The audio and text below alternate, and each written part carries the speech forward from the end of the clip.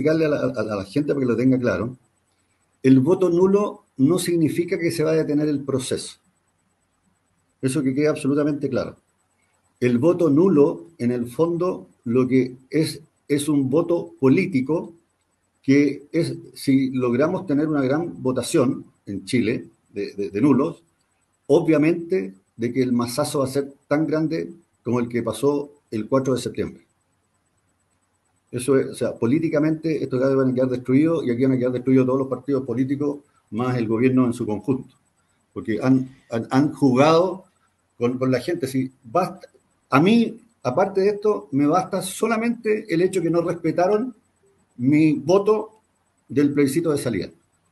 Porque se saltaron la ley, se saltaron la constitución y se saltaron el, lo, lo, que dijo 8 millones de chilenos.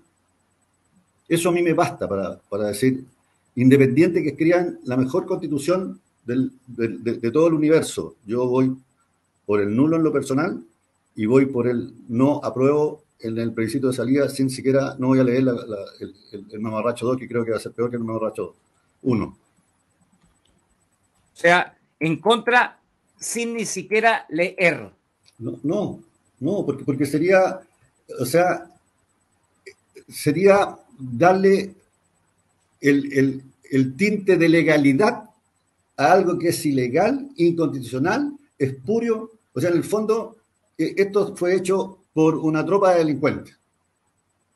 Exactamente, saltarse, por eso que es importante. ¿eh? Saltarse, que es Adelante, por favor. Saltarse la constitución es un delito. Y el que comete un delito es un delincuente. Vamos. Es así de simple.